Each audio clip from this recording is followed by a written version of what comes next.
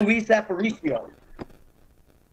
I See, that's what I'm saying. You got to get out and you got to get out and expand your horizons, my dude. Because because this soccer thing, you know, you're all locked in on that.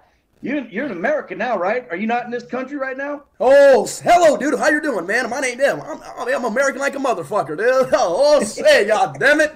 God bless America. I'm America.